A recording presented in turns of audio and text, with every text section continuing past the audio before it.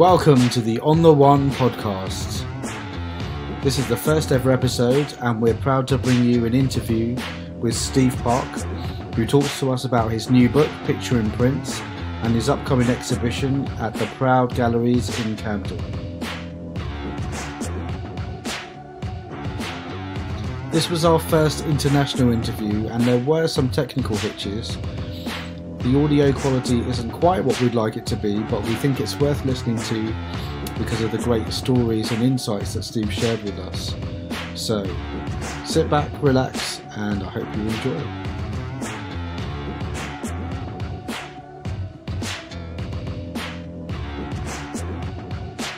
We'd like to welcome to the show Steve Parke. Very honoured to have you as our first guest on our podcast for ontheone.co.uk. We just want to remind people that um, Steve Parke will be uh, doing an exhibition of his photos at the Proud Gallery in Camden from the 9th of November to the 3rd of December. Um, I'm Marcus. And I'm Lena. I'm Steve. Hey, Steve. Great point, Steve. Um, I've just uh, finished reading your book. It's so so great and really uh, a, a real heartwarming read for um, Thank you. for us. You know, long long time fans of Prince, obviously. Um, you talked about your first gig with Prince when you were um, doing designs for the the floor of the Lovesexy show. Can you tell us a bit about that? Uh, yeah, that was uh, yeah, it was the first thing that I got called out to do. I had no idea what I was getting myself into, uh, but I I wasn't going to pass up the opportunity. So when they called and said, could I do it, I had enough uh, background from um, college because I was a theater major in painting sets for some of the, um, shows cool and, and everything because I knew I was going to end up, you know, being Prince. At least I assumed so, and I did. And uh, it was um, a lot of a lot of pressure, but I just, you know, I just did it. I mean, that's kind of the way I try to approach things as much as I can. Like you know, going in that it might be a lot to do, but you make the choice. I'm going to do it, or I'm not going to do it. Um, and so in this case, I said I'm going to do it, and uh, fortunately, the very quick design that I came up with, I had basically three hours uh, to do it to show Prince because he was getting ready to leave to go to, for three days. So I had to cobble together a design, uh, which was amazing unto itself. And after that, it was all things which probably could in as quick a time as I could. So I took just three days and uh, ramped myself up on as many caffeinated beverages as I could. so did Um, you um, I- did Prince give you um, access to the music and things to listen to in order to inspire your designs, or did he give you some direction? Um, not in that particular case. No, he gave, he gave me nothing about a, uh, and it wasn't from him. It was from one of the working on the set. I got a sketch of the aerial of the stage, so to have thing to work with. But no, I uh, took it upon myself to run on Paisley Park and see what was in life, you know, out there. Uh, from things I saw um, around the studios to I went up to the wardrobe department. That was a huge help. I saw kind of what you know his clothing was like, those giant them ear custom earrings and all the things that sort of were making up. When I did check at the, um, I think somebody copied like a, a proof of the album artwork, at least the back. I think the front of it, I think the front of it was a little up in the air at that point because I seem to recall that initially the Lovesexy album was supposed to be a band photo front, which um, I think many the band members were a little bit disappointed when they saw the final Right. final cover.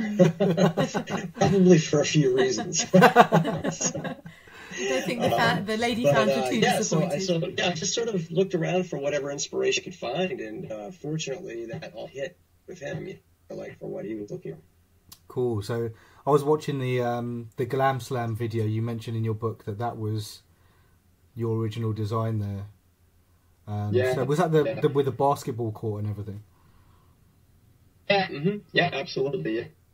And uh, yeah, well, I knew I knew that about him. I also, um, because I don't think it was like maybe right away, but I, I had visited out to Paisley one time previously because Levi Seacer was a friend of mine, and he said you should come out. You know, Prince should be on this weekend. I was like, I was so excited, and then I went out and said left town, so I was like. Uh, but I got to look around Paisley, which was cool. And I think I remember seeing that basketball back um, and I knew that Prince played basketball, so I thought so I thought it would be kind of cool to include that um, that part of it. And, and, an interesting story to kind of go on that, by the way, was that uh, my first time visiting London um, was I came out to actually Birmingham arena. He was playing out in Birmingham, and he was taking the sexy stage out to some um, festival dates. At the festival dates, they set everything up. They couldn't stuff in the round. They had to be basically put up against a wall. Yeah. So you were missing half the stage. And um, he they flew me out, and this is this is kind of awesome when I think about. It. they flew me out to Birmingham to paint Prince's eyes on this big cloud backdrop. I just thought that was funny. Like, really? That's, I mean, I'm, I'm not gonna I'm not gonna argue with that, you know, to get me out to London. The funny part is, I was uh, 25 and fairly ignorant of um, of, of flying internationally, and so um, I knew that I came into Heathrow and that I flew to Birmingham. And when I came back, I was like, "Hey, I'm going to stay in London for a few days." So, and um, I didn't think about the fact that my ticket really would come into Heathrow and then leave to go back to the United States. I just stuck around. so, so I uh, got to the airport and they're like, "You were supposed to leave four days ago." I'm like, "Oh, uh, is, is, that is that a problem?" And they looked at it and they said, "Well, it's a full fare ticket, so no, it's not." But I'm like, I don't think you could get away with that today. That was pretty. Uh, I, I I don't know how I made that decision in my head that that was okay thing, but I didn't get away with it. I guess so. Um, turned out turned out okay in the end. That's brilliant. um, one of the like a few times in the book you talk about um, time that you and Prince spent together, um, like jamming, listening to music and and things like that. And Yeah. um, there was one story that which really made me laugh w- about when he um, was kind of trash talking other artists like Yeah. Sting. That really that really made me chuckle. Um, were there any um, times when you had played him something and like he really got into it? And you mentioned a few in the book, but were there any that stand out that you where you felt like, oh, he's like kind of taking an influence from what you were playing? Um, I'd say that him react to the most strongly. Well, because one was when I played him No Doubt. He had not heard No Doubt at that point, and and I didn't necessarily recognize how much he got into it until one night he called me down uh, to the kitchen where there's a TV down there, and he'd watch David Letterman pretty much every night, and a lot of times he would be like, "Oh, hey, so and so's Letterman tonight." Down later or whatever. But this night he called me, he says, "Hey, come down." And we're sitting there, and No Doubt was performing, um, and she and uh, Gwen Stefani hopped, hopped up on Dave's desk and was, you know, uh, singing right to him from the desk and all. And Prince Mhm. loved that man. He got so excited to see that. He's like, you know, he's like clapping his hands, being like, "Yeah, that's what I do," you know. So, um, and then then he later, uh, No Doubt was in town. He's like, "Hey, you want to go see No Doubt with me?" I'm like, "All right." I mean, you know, with a couple other people. It wasn't just me and him, but uh, yeah, yeah, of course I do. And then and then the the big payoff for me, which I, I had no expectation of, which I, I wrote about, I think, a little bit in the book, was that we came back to Paisley later with my expectation of working because often that's the way things went. Like, you know, yeah, you get to have a little fun, but now it's time to go back to work. Yeah. Um, and instead, he showed up with with most of the band of No Doubt and sat around jamming for like an hour and a half, and I was like the only other person there. It was great. it was great. Um, and another person he really we we listened to a lot of music too that was stuff we grew up with, and we talk about like, oh, I haven't heard that album in a while, so we would kind of listen to that. Um, we got into like uh, there was a series where we were listening to a lot of Weather Report and uh, and Return to Forever, which were you know big. Uh, uh, jazz uh, fusion band from the like 70s, early 80s, um, and that's just before he really got into doing like news and um, uh, the One Night Alone piano record. So I think Oh, he was kind of you know listening to that stuff again for sort of like. Oh yeah, this is what I liked about that and all that. Um, but he really got into Victor Wooten, uh, who I've had the pleasure to work with for uh, several years uh, who's an amazing bass player, I'd say, one of the best out there. And um, I made him a, the record, just look, he's like, um, is he in a band? And that, it was the kind of question that was like, I'd like to be in my band, kind of, uh, thing. And I said, well, no, he's in a band. And he said, you know, like, well, you know, what do they sound like? Do you have something I didn't? And and uh, he's in a band called Béla Fleck and the Flecktones. for anyone who's not familiar with Flecktones, they're they're definitely different. I mean, they're they're they're very um, like you know, like music theory and things like that. People play it all playing in different time times, you know, Yeah. and yet make it work. Um, it's that kind of a.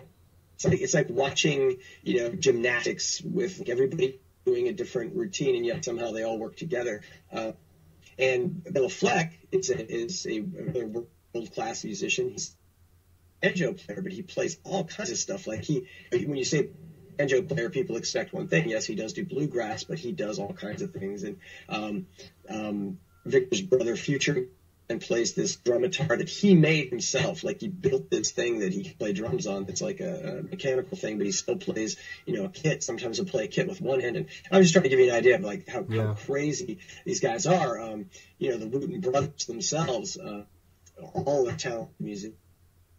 You know, uh, Reggie would play two saxophones at the same time. I mean, it's Wow. just it's how, how good they are.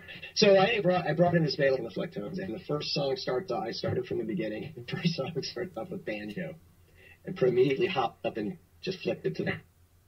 Sorry, just the banjo was not doing it for him. So he li- he listens for a minute, and it was one of those songs where everybody's playing a different time signature, and uh, you know I, I think he just didn't expect that because Victor's records are, are more funk driven. I would say they Yeah. definitely the groove obvious. You know, uh, there's a groove in Flecktones, but it's not necessarily you know quite as you know clean as you would think from from a bass.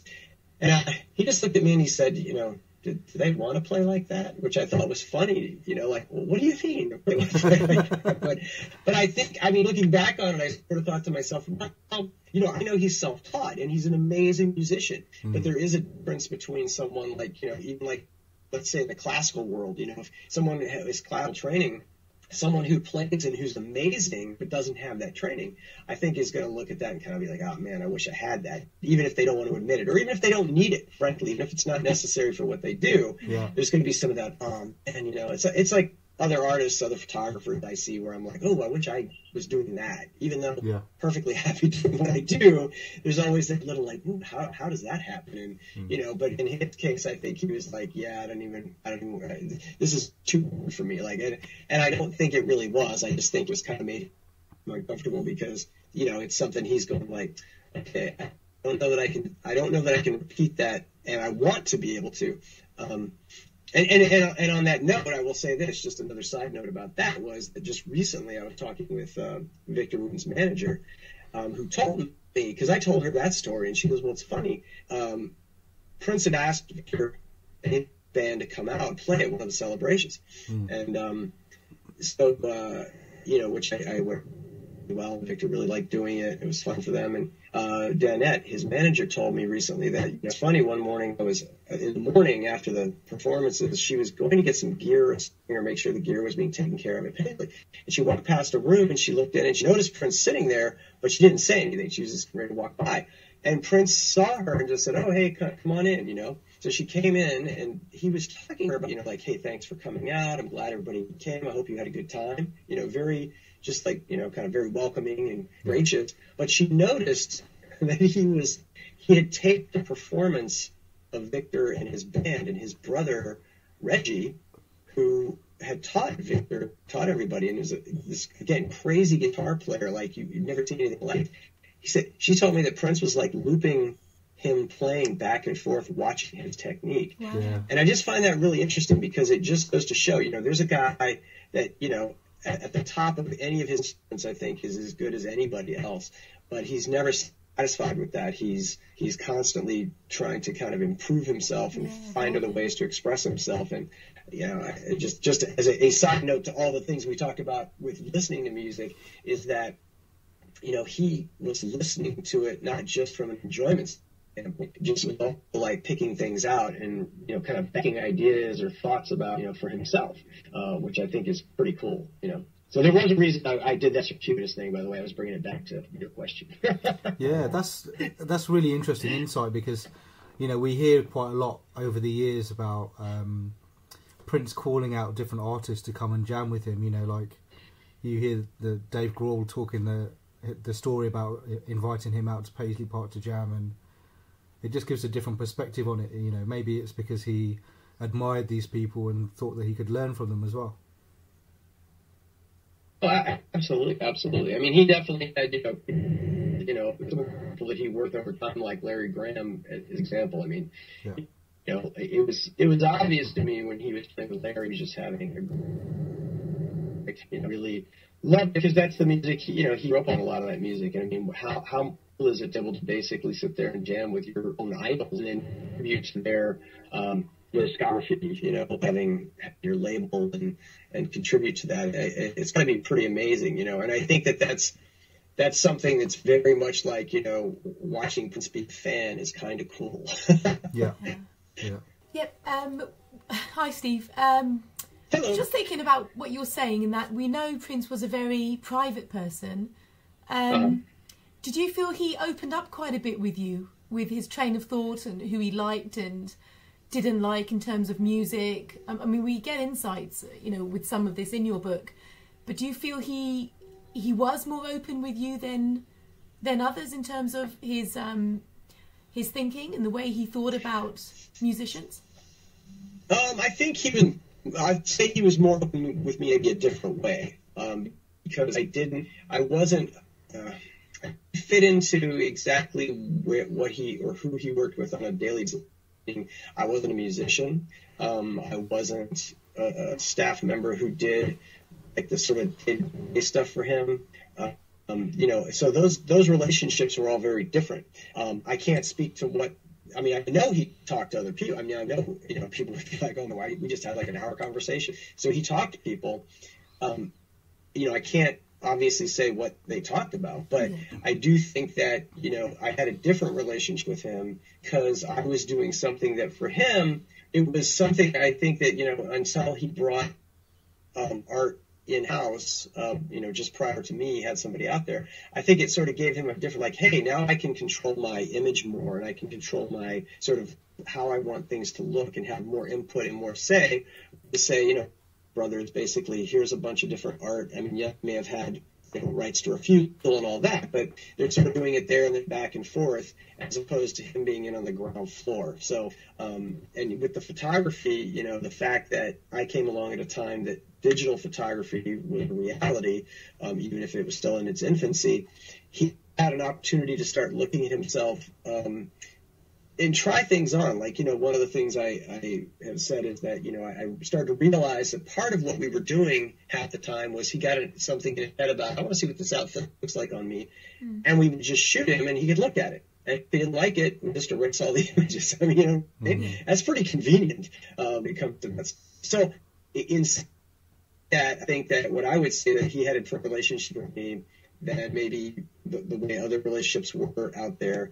And we I definitely, you know, I I can't say whether you're surprised or not surprised by the fact that I had a pretty good musical background. I could I could speak about music without being a musician. That makes sense because yeah. Mm. I listened to so much of it. Yeah. So I so I could articulate my thoughts on it, but I wasn't from the. Did you hear play B flat instead of a this or that off? Yeah oh, that's him. I was more like, oh, this is an awesome record. And he's like, yeah, it is. or, hey, check this out. Go this out. Know, it was like that. So I always joke like we were just a bunch of, you know, two big music geeks sitting around listening to music sometimes, you know. Mm. Um, and on top of that, yeah, he would, he would talk to me about things, you know, sort of, it, it depended on the day, you know, but we, we had multiple hour discussions about all kinds of things, you know, just kind of weaving in and out of, whatever was going on, you know, in the on the world front or just on, you know, couple, sometimes in his personal life, you know, it, it just depended on, uh, you know, it just kind of depended on the, um, I don't know, depending on the day, I guess, you know. Yeah. Uh, yeah, it's like I said, I don't want to say, I guess I don't want to say, you know, a, a, a completely unique relationship. Think that we had our own, um, you know, kind of interpersonal relationship, and uh, and I'm certainly grateful for that. Did you did you get a feel for his? Religious views, um, pouring into the work and the and the artistry that that he wanted you to produce? Did you feel there was a lot of influence from his his change in his religious perspective over time? Uh, as far as the artwork goes, yes. Uh, uh, I don't. I mean, he he always had little things underneath. Um, you know, whether they whether they followed through or not, um, you know, I mean, sometimes he'd be really whimsical about the artwork. Like I'd say, like the uh, New, New Power Soul uh, album is a good example. Like it was just whimsical, you know, kind of fun bunch stuff we did with the record, um, and I think he saw the album that way too. You know, so yeah, a, that that kind of had a real whimsical feel to it. But I think it depended on kind of where he was in his head and how he felt about things. Um, and for, you know, a good example to me was like a very direct example was, you know, when he was doing the Holy River video, um, you know, he definitely had some, I would say, spiritual uh, kind of visuals within that, the way he approached uh, saying some things about his life a little bit and, and how I don't know how he was thinking. And I was like, oh, this is really cool. Let me let me mess around with it. And I wanted more painting, but honestly, the digital format wasn't great for that yet. Photoshop is still pretty pretty plastic in my opinion, um, and how it rendered when you painted and drew. But there's a set up there's really early filters. Did a decent paint paint, and I ran this paint effect on it, and he he loved it. And and basically he said, you know, yeah, give him a printout. He came back and he said, at picture influence, welcome to the dawn. Sorry, it was the flip side of Holy, yeah, welcome dawn. No, I, I say, oh yeah, no, I'm saying imagine, you know, having someone walk into your room, putting a cassette in, playing it for you, being welcome to the dawn, and being like, just kind of blowing your socks off, and then, and then going, you know, pointing to pick you give and just let me write a song. How, yeah, that's mind blowing. Like I've got, I've got to say, like the the truth is one of my favorite albums, and Welcome to the Dawn is one of my favorite songs. So that's mm. that's got to be, uh, yeah, pretty mind blowing. oh no, absolutely no, and I and I could say it's one of the ones that I have to say. One of my fun stories about that was um, when they were going to put that out, the and they're going to put it back in the fall we we had a whole package design just for that album. I really liked it a lot. I'm really really happy with it, and uh, and uh, so I was like, there was a little bit of inspiration on my end, thinking I really want this to come out. At the same time, it really was me loving that record and wanting other people to hear it. And I felt like, yeah, it's going to get buried in that crystal ball thing because yeah. you know fans will fans will spend the money because yeah. they want the crystal ball, but an average person who's like, well, I don't I don't know what that is and it's more money than a regular because three CD whatever four yeah. CDs. This that that truth record, and um, so I said to him, I said, uh, "Hey, it's me, maybe a little bold, and, and sometimes sometimes it paid off, others not so much. This is one word it off, but I said, um, have you thought about maybe taking the truth and package separately and making it like five ninety nine, or if you buy the crystal ball, you get it for free." So you know you're getting the same, getting the same deal basically, but yeah. you kind of looked at me and you just goes, um, "You should stick to uh, art." okay, fine. So, but anyway, and then the funny, the irony to me a little bit that was a few months later. I remember I was uh, listening to music in my room, and it was the Truth album because, like I said, I really liked it, so I would actually play that there. And he walked in, and he's standing there for a few minutes. He goes, hmm, this really is a good record. And I'm like, yeah, it really is. I was kind of pointed in making that, you know, that, that comment. Yes, in fact, it is. Um, I think that's one of the tough things. I think that someone who produced as much as he does and also mentally sort of moved on to the next thing, yeah, or artistically moved to the next thing, it was difficult for him to probably see value in what he's finishing because he was done with it. Yeah. He didn't get paid. There we go. Hey, ah, we're back. yeah, things are being things are being extra laggy. I like to, you know, so I'm always reminded, like, thank I'm thankful for the technology, but I'm I'd be more thankful if it worked better. yeah, exactly. okay, so uh, um, where were we? You were talking about. Um... Oh, I was talking about the the, uh, the other album that I thought got a little bit lost in the mix too. Um, because my son, who's 17, is like really, really into uh, the Exodus record. Oh, and, uh, I love that. I, I love that record when it came out. I mean, I remember, you know, friends would play it for us, and we were working on the artwork and everything. And yeah. I was like, this is awesome. When people hear this, this is going to kill it. And then he put it out, you know, in NPG, which unfortunately for, you know, people, you know, one of the things I learned working for him and, and from working for um, with some of the record labels like Arista and people like that, yeah. it definitely is the case that when someone recognizes you as an artist that and they like you, they're going to buy you. And Yeah. if they don't get that, they're not necessarily going to give it a chance. You know, it's like it's like Yeah. putting out a new artist all over again. And I think that especially in those early days where the new power generation was kind of still not uh, solidified. What is that? You know, it's like not Prince and the new power generation really, but kind of, but whatever. And then the whole Tora Tora thing, I think it just, you know, I think it did well from what I can tell. It did very well overseas, but people in the United States didn't even know about it. And I would play that for people, and they'd be like, "Oh yeah, that's like the funkiest thing I've ever heard. Who is that?" And I'm like, "Well, it's this new power generation. I mean, but you know, clearly Prince is all over it." And they're like, "Wow, I wish I'd known about this." And I'm like, "Yeah, I know. That's it's hmm. it is tough, you know." So that was just goes back to what I was saying a little bit about sometimes, you know, he he does these projects where for him they they're almost like, you know, like I don't know. I don't. I don't want to say he. I definitely don't ever want to say he just tosses them off because hmm. I don't think he does. I don't think he just kind of goes, "Oh, I've done this record." I, I, he works hard at it, but I will say that you know, for someone who's got that ability to continuously output like he did, one of the things that happens is I think that you know, it's like I don't know. It's like hearing all this music and never hearing something over again.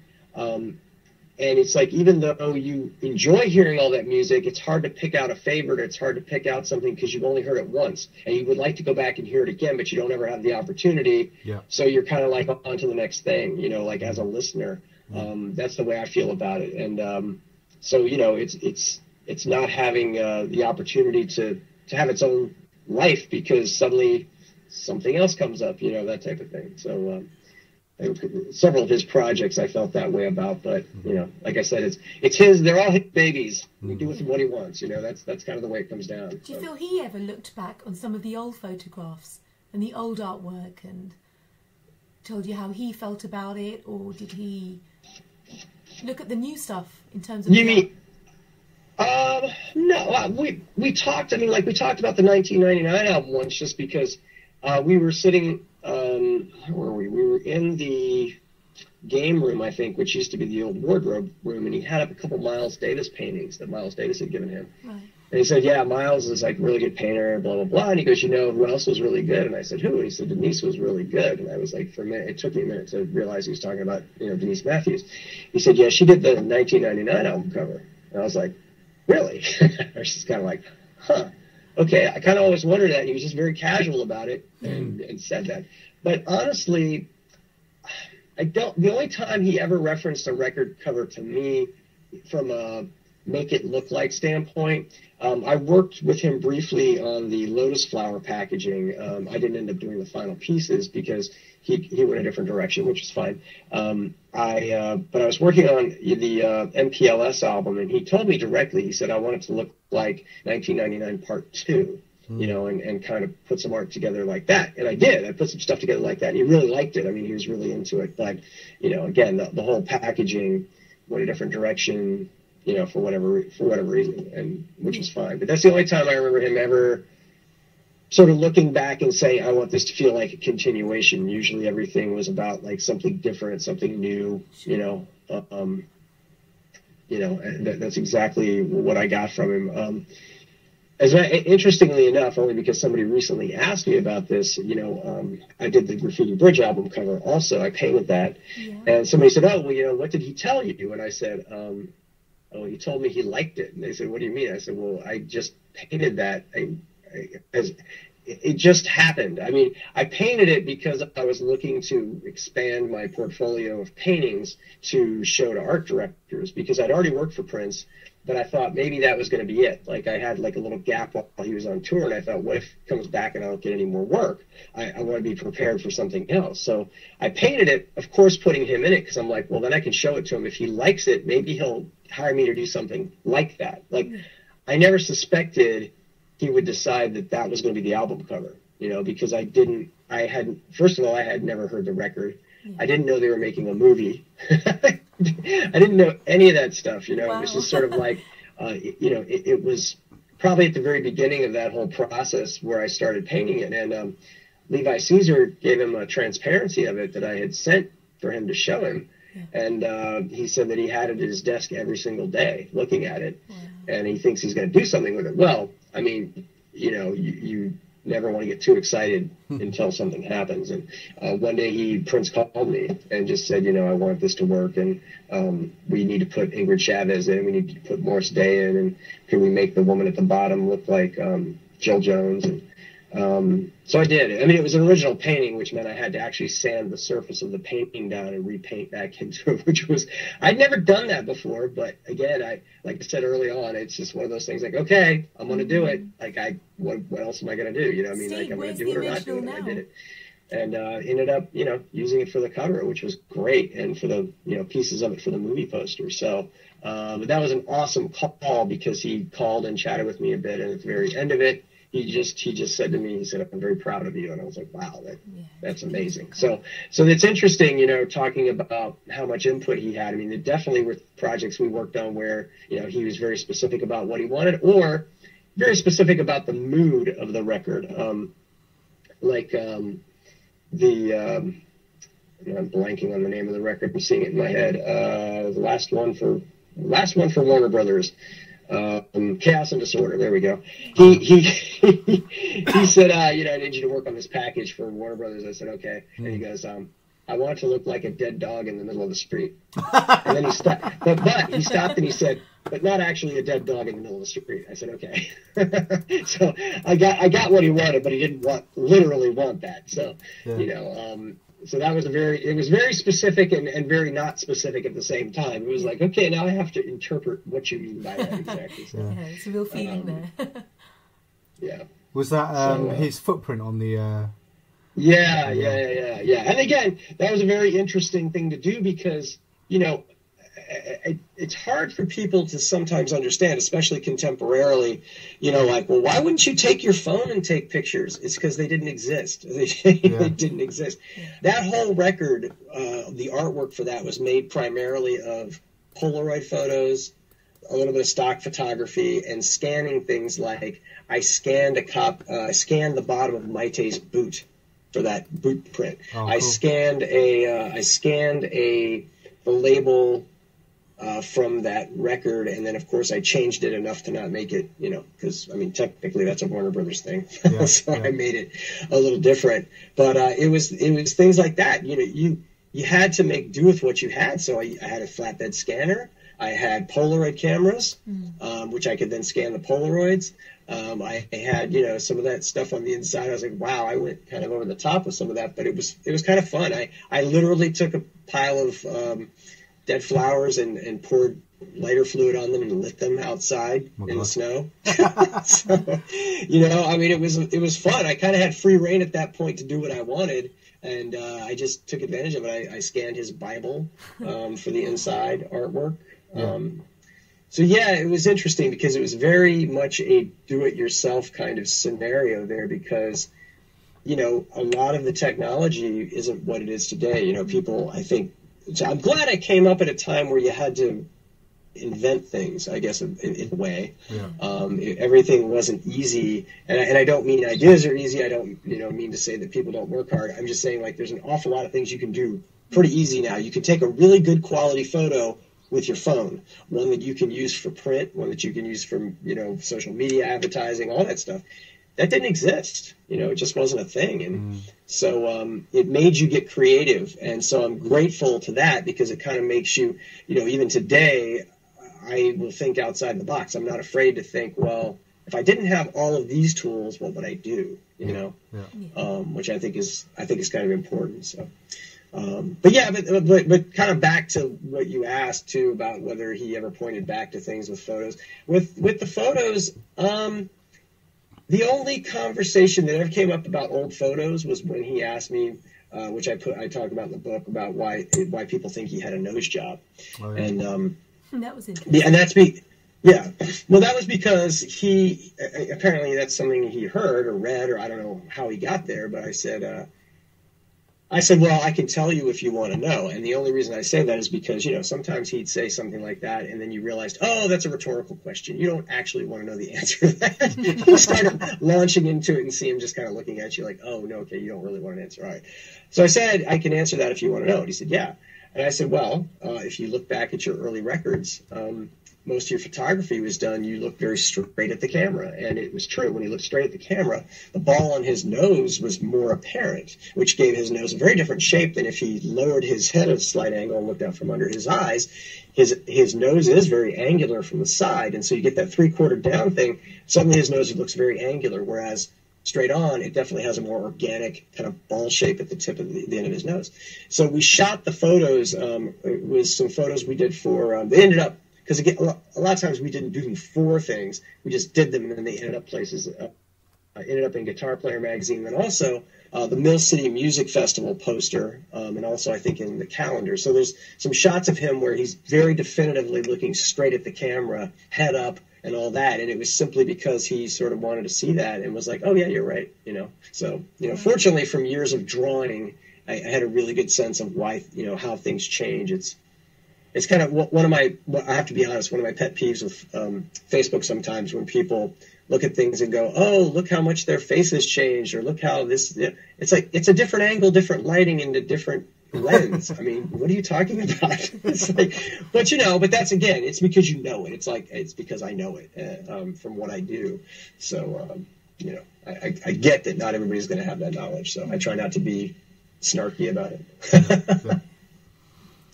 um, Steve, I've got some questions here um, that other fans have sent in to us. Sure. Um, so uh, this is one um, just asking about the artistic process. Um, mm-hmm. um, did Prince give you an idea and then let you run with it, or was it very structured in terms of like did he literally kind of look at look at what you were doing while you were doing it and like have the final say on it, or did he just leave you to do your thing?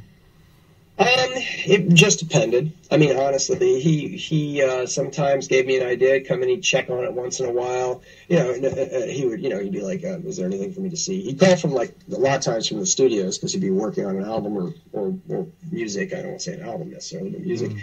And he'd just say, "Is there anything to see?" And I'd say, "Yeah, sure, come up." And he'd look and he'd give some feedback. Sometimes it would be like, "No, that's all good." Other times, like, mm, "I think we should go another direction." I mean. Um, and other and there are times where he would like you know all night long while I'm working on something he was literally over my shoulder the entire time.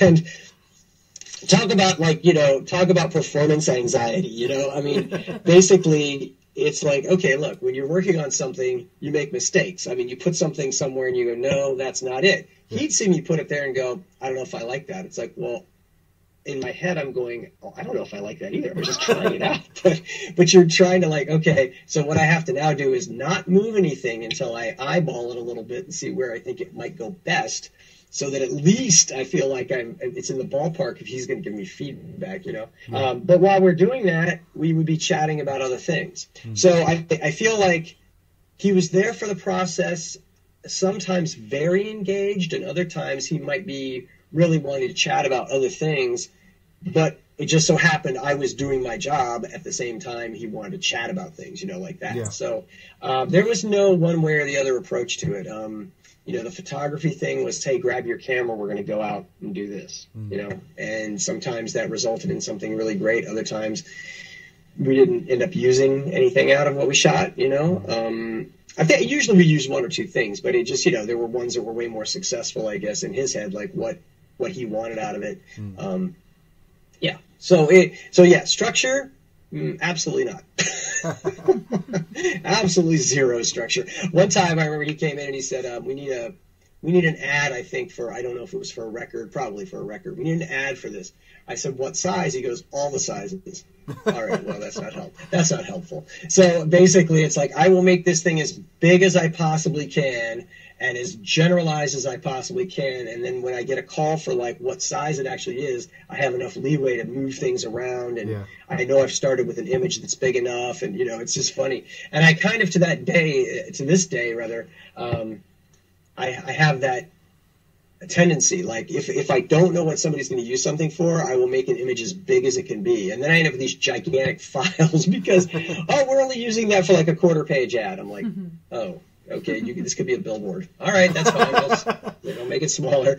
No, but you know, you don't know. You just don't. I I was just recently working on uh, Sheila E.'s current record, And same thing, like I, I built the images for the cover uh, artwork bigger, and even for her her single, because you know the process was not hundred percent you know, like this is what it's going to be. Mm. So I wanted to make sure that I was working with things big enough that if she really liked something, then hey, you want to turn that into a poster? Not a problem. And as a matter of fact, in the end, it worked in my favor because um, I did a cover for the, I guess, I guess digital single of America, and um, I quite liked the way that image came out, and I thought it's a shame that's all it's for. Well, in the end, we ended up using that for the vinyl, and it's like uh, the mm-hmm. whole image stretches the front and the back of the vinyl. So I was really happy that you know that kind of lesson I learned to make things flexible yeah. um, paid off, you know. So so it does it does pay off, but like I said, it does also end up like you're like, well, I need some massive terabyte backups. And I got to tell you, back then, you know, again, it's one of those perspective things. You didn't have terabyte backups. You had to be very conscientious of your size of, of, of files because yeah. storage was very expensive, even even for, for anybody, you know. And like I said, we were a little bit of a a, a, bit of a DIY, DIY, there we go, do it yourself, DIY kind of situation there. You know, people wouldn't yeah. think that. I, I think that's what's so funny is people wouldn't think that about Paisley Park. They think it was way more, um, you know, set up like a, a regular art department. And I think maybe it got that way eventually, mm. maybe maybe not. But it, it, was always a little bit flying by the seat of your pants at all times, um, and just trying to trying to hold on, you know, yeah. uh, as you went. Yeah. And uh, which made it very exciting, but it also made it sometimes, you know, honestly, in the final final assessment of like what you did, you're like, man, I wish I had more time on that. I wish I had a little more this, or I wish things had gone this way. But you know, mm. I, I think that's true, even if you're given every possible uh, um, opportunity to make it right, there's always something that in the end you're like, oh, how did I miss this? You know? Yeah. Um, yeah. So anyway, so yeah, the process was was probably about the same way Prince did music. The difference was I didn't have a bunch of people when I was done to fix it up for me, like you know, do all the all the tech work. I had to do all the tech work too. yeah. Prince is known for his um, great and wicked sense of humor. What was the funniest thing you ever saw him do or say? Uh, I mean, there are a lot of things like with the band. I mean, he and the band would just cut up like crazy a lot of times when I would see them, you know, working. And it was, it was, it would be hard to say what the funniest thing was within that. But for me personally, um, within like my office, I think the funniest thing was always that when, whenever he would answer the phone in my office, because the sound, the system was set up so that it would go to the um, front desk in the building, you know, because it was a commercial building. I mean, it was set up to be a commercial building.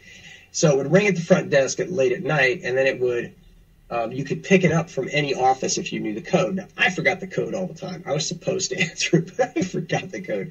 But he knew it. He knew the code, and he would pick it up. And if it was ringing directly into my office, I was like, "Oh no, that's probably somebody I know." And it was funny because he would pick it up and be like, "Oh, it's for you," and I'm like, uh, I'll, "I'll call you back." But um, but he would pick it up and start these routines about how you know, like obviously someone on the other end was, you know, looking for quote unquote looking for Prince, and he he'd just be like, well, no, we we don't see Prince through here very much. You know, he he's on the road and he's doing all these things, and it's hilarious. Oh my god, because I mean, he's sitting there telling the person, yeah, and he is Prince, and it is Prince, but he'd kind of do these like midwestern accents. He he'd answer it like you know saying uh, you know oh, uh, what kind of pizza can I get you? You know like what, what do you want? What toppings do you want? You know it was really funny. And, and the thing that, that got me the most was that the more I was trying not to laugh too hard because I was trying to let him do his thing, and if, if someone laughing in the background, it would be obviously like you know yeah. kids playing a practical joke. So I tried not to, but the more I tried to not laugh, the harder he would work whatever bit he was doing. It was it was really funny. So you know he yeah that's that's that is true. He he can be really really funny, and like I said, a lot of it's like you know if you have a friend of yours who's funny sometimes you're like, well, I can't, I, I can't tell you everything they did. It's just you, you, you were in the moment for it, and you're like, yeah. oh my god, that was hilarious. Yeah. You may not remember what he did, but the phone thing was funny because even though I can't remember every single version of what he did, he yeah. did it on a regular basis. Um, anytime he was sitting with me, and it just, it was so funny to watch him, man. He just grabbed that phone and be right on it. Um, you know, I guess if he was in the mood, he was ready to roll. You know, yeah. So it's very, very funny. I love the idea that there are people now reading your book realizing that actually they were speaking to Prince all that time.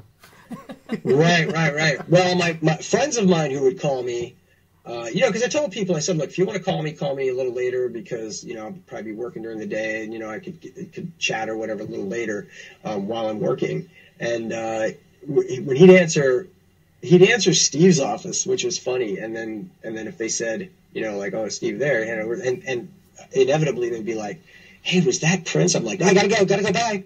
you know, it's like later I'd be like, yes, yes, it was. I'm not gonna sit there and say it on the phone in front of him, you know. Especially, frankly, when it was like, well, I can't even say it's Prince right now. It's yes, it's, yeah, it's, yeah, exactly. yeah. Prince uh, has shown a bit of an interest in photography himself, so we've seen a few photos, you know, of him with a camera. Did he ever like get tips from you or anything like that, or did he just do all that stuff by himself? No, I, he did all that stuff by himself. I mean, I, would hand him the camera ready to go, like a few times. You know, he wanted. To, he's got a couple pictures of, of Mayte that he took that are really pretty. Um, so he, yeah, he had a good eye. He had a really good eye, and I think it just was a matter of, you know, like, um, you know, again, you know, I don't want to overemphasize it, but the, the cameras back then were a little on the iffy side as far as you know getting a good shot out of it. You kind of had to had to tweak it a little bit as you went. But um, he got some he got some really nice stuff out of it, and then I have seen things since. But uh, yeah, I've always thought he's had a great eye. Like he would he would sometimes be looking through a magazine and say, you know, I would have cropped that like this, and I look at it and go, yeah, you're right. You know, I, I see mm-hmm. what you're after. So he he really he devoured that stuff visually. I think he would look through uh, magazines. I mean, we never we never did it exactly. I mean, he never shared with me anyway. Like, hey, see this photo? I want to do something like this. Mm-hmm. But I think that he was always interested in you know both fashion, which you know involved a lot of photography, obviously, and um, and just kind of visual style. Like I said, from what I saw him do or talk about, I had a good sense that he he knew composition well, and he kind of got a feel for what he wanted out of lighting. So it's it's almost like I, there's nothing I could tell him more than re- really, I mean, literally spend more time with the camera if he wanted to, to keep doing it. That's all. I mean, because he had a good eye for it. Like, just like anybody, I've taught before, and there are people who, you know, you're like, I don't have to tell you anything um, other than, you know, sort of like watch for a couple of small things, but you've got a great eye. And, and then other people need, really need to know, they, they don't inherently know it, you know, and you can learn it um, and you do need to give people tips in that case. But uh, yeah, he's just one of those people. I never, I never saw his him as someone who needed that, and he certainly never asked me. So I wasn't, I wasn't going to volunteer that information. What was your? Um, it must it must be difficult to to pick one out, but what would you say was your biggest wow moment working with Prince? Um, hmm. You know, well, I uh, probably my biggest. I, I think there were two, and the biggest obvious one was probably the first time he ever called me into the studio, and I thought, well, you know, here's something something he doesn't like. He's calling me into the studio, and in fact, he just called me down to listen to what he was doing and to watch what he was doing, and and so here's a guy showing me what he does, showing me his artistry, like up close and personal. Mm. And it's got a guy who I've been a huge fan of since I was a teenager, you know, and, and just to sit there and watch this guy laying down a guitar track while he's chatting with me at the same time. And, and of course, you can keep all, you need to keep all that stuff internal. You can't be like, you know, like I, I didn't want to be like crying and fanning my eyes at the same time while this was happening. I thought I'd never get that opportunity again if I did that. So, but inside I was doing that. Yeah. Um, yeah, I mean that was amazing. It was amazing, and and and and to to go with that, probably anytime he's hopped up on stage just to watch that transition from the guy I was literally just chatting with to this just force of nature, just powering his way through his craft was amazing. You know, mm-hmm. blew me away. But uh, at the same time, the other thing that probably did that for me, but in a very different way. Um, was probably the the shoots out at uh, the shoot we did out at Chanhassen uh, Arboretum mm. because I was really spending time with this guy in in in such a different uh, atmosphere and different vibe out there and. Um, we well we got out there twice. We went out once with Larry Graham. We were shooting with him, and that was more Prince kind of saying like, "Hey." And, and there's a case where he was a little bit art directing on it, like his things he wanted for Larry's record you know, he'd say, try this, try this. Um, but then when we went out, you know, and even then it was really nice. It was just nice I don't know, being outside, like, like, you know, and away from the studios where, you know, he was not in contact because there were no cell phones, there were none of that, you know, none of those things. And, and as I tell people, I said, if anybody's wearing a pager, it's not Prince. You know what I mean? Like he doesn't, yeah. he's not the one who has to wear the pager. Everybody else wears the pager.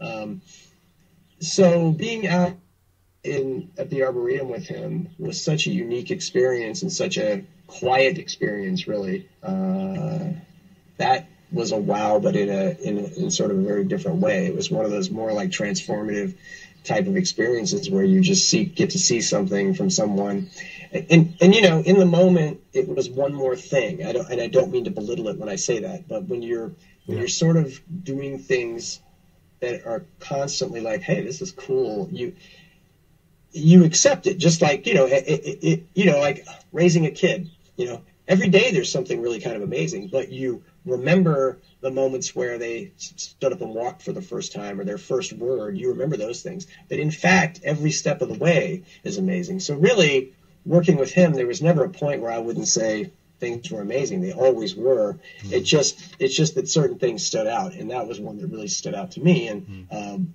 and having those photos from that time, you know, sort of really pull me pull me back into it when I was looking through them and you know, really remembering that experience, that that was that was a a wow on sort of a you know a very different level. Yeah. Reading in the book about you taking your son back there, yeah, um, yeah, to the same spots was really, I think, really quite beautiful. The way that you you wrote it down. Um, thank you. Yeah, I mean, let's just thank you for that. That's that was quite special to read.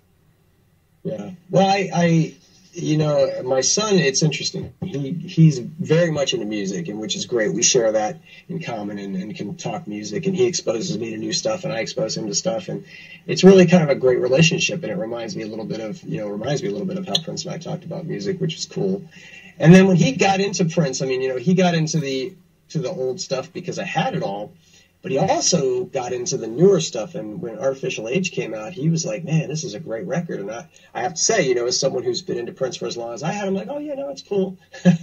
and he, um, he said, "No, no, listen to this, listen to this," and he would start to play me things to a point where suddenly I'm hearing it first of all from his perspective, but also, you know, when I was a kid, I had that opportunity to sit and listen to a record over and over and over again to really burn it into my conscious, into my subconscious, and mm. um, and as you get older, you know, there's less time for that. Like, you know, I find myself, well, where do I listen to music? In the car. Yeah. Um, sometimes at home, but then, you know, I'll get a phone call or an email or whatever, turn it off and don't turn it back on.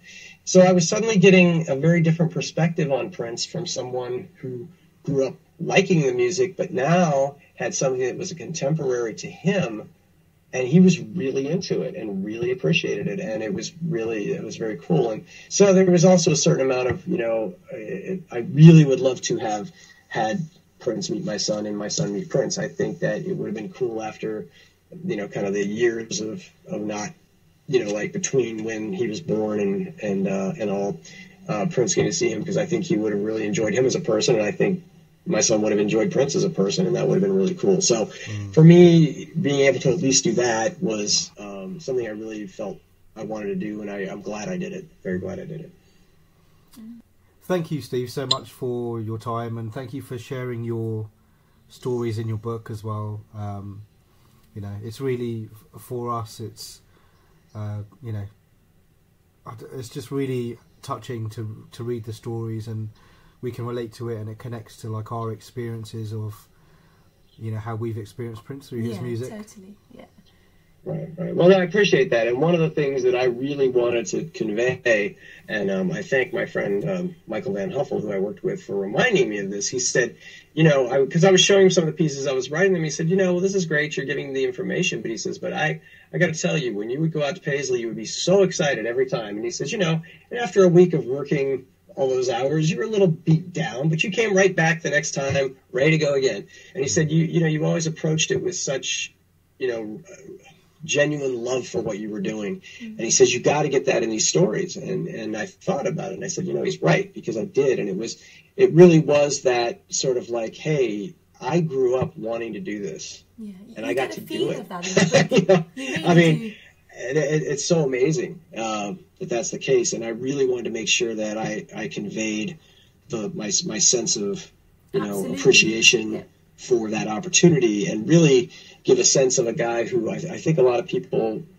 You know, they, they don't have that experience of seeing how giving and generous of a person he can be, even when he can be a taskmaster. I mean, you know, anybody who worked for him would never say he wasn't Yeah. but you know he he did it to himself too he he pushed himself so he really pulled out of you what you were capable of even beyond what you thought you could do which i think is a tremendous it's a tremendous uh, thing to recognize that in people. It's another one to give them the opportunity especially as i've come to realize you know a guy who didn't have to didn't have to Yeah. could pulled in, you know, like, hey, you're the best at this, I'm going to bring you in. You're the best at this. Instead of saying, I see something in you, and I want to give you that opportunity, and I want you, I want to work with you to to make that happen because I basically because I believe in you, uh, which is That's one thing we hear time and time again with Prince, with people who worked around him, that he would want to bring out the best in you.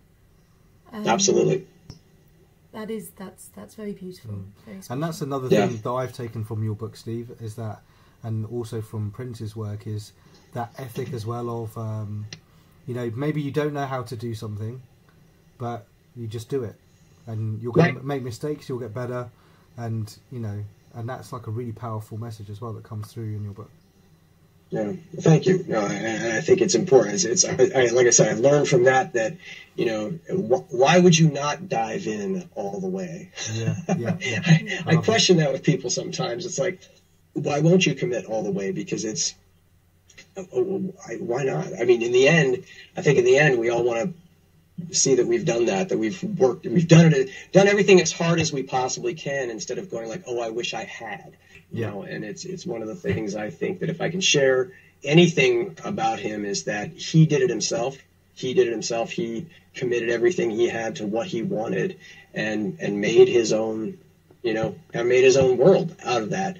And that, you know, uh, trying to learn that lesson so that you don't find yourself one day wishing you had done things, but that you're happy that you have done things, I think is really important, um, very important life lesson for anyone. And, and he really kind of slammed that home for anybody who, that worked for him. And I think that anybody who worked for him and, and made it and worked there for a long time, almost said survived, um, Yeah. uh, they learned that lesson. They learned it and they carried it into the rest of their lives. Everybody I know who worked out there with him have become ex- are extraordinary people and have become more extraordinary people through learning that lesson and pushing themselves in all aspects of their lives. And I think that's an amazing thing. And you know, That's amazing. Thank you, Steve. Thanks so much. yeah, absolutely. Thank you. And um, we'll look forward to seeing you on the launch night when, at the gallery.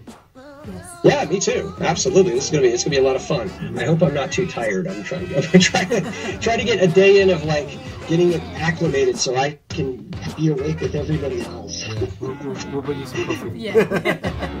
All right, coffee. Yes, lots of coffee. Here you go. Okay. All right. Cheers, Steve. Thank you again. All right, take care. Cheers. Bye bye. Bye bye. There you go. So, what did you think about that? Wow, that was incredible. What an amazing guy. Yeah, really cool. And um, I really love like the, the last few things that he was saying about, you know, just put, giving yourself fully to something. I think that's really important. Yeah, the messages that Prince has taught most of the people around him Mm. to push themselves, to work hard, strive for better things. Yeah.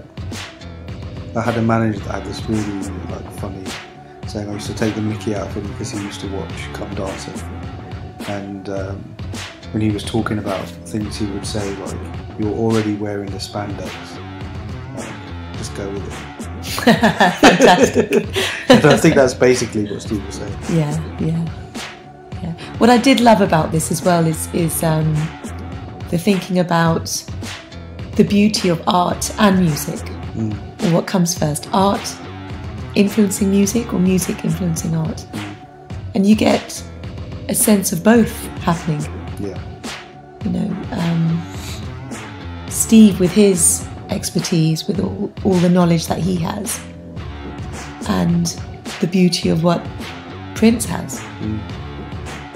yeah, one of my favourite stories. It didn't come out really, really well on the interview because the audio was a bit uh, interrupted, but it was the story that Steve's put across in his book about this painting uh, effect that he did on a photo of Prince from the Holy River video and Prince coming back, seeing that photo, really loving it, and then coming back later Yeah. with the track Welcome to the Dawn and saying to him, You inspired me to make this like that's Yeah. just yeah. absolutely crazy. Yeah. yeah. Fantastic. That was that was great. Cool. Okay, I hope you guys enjoyed listening to it as much as we enjoyed making it. Um, it's pretty hard work making a podcast. It's the first one, It is. and um, it's harder than we thought, but it's fun as well. So Yeah, really enjoyed that. we're going to do some more of these. Definitely look out for us. Yeah, we'll see you soon. Okay, thank you. Bye.